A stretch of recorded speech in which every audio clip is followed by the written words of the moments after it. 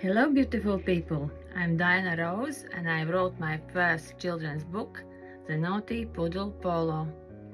Polo is a real dog and here is nine enjoyable stories and make you smile and laugh. It's and for people who like pets and animals. I worked with White Magic Studio and they done job professionally and everything I asked. It's here. Videos website for me for my book. I very very appreciate work they done. I recommend to every writer work with this company White Magic Studio. Book is here. You can enjoy time with Polo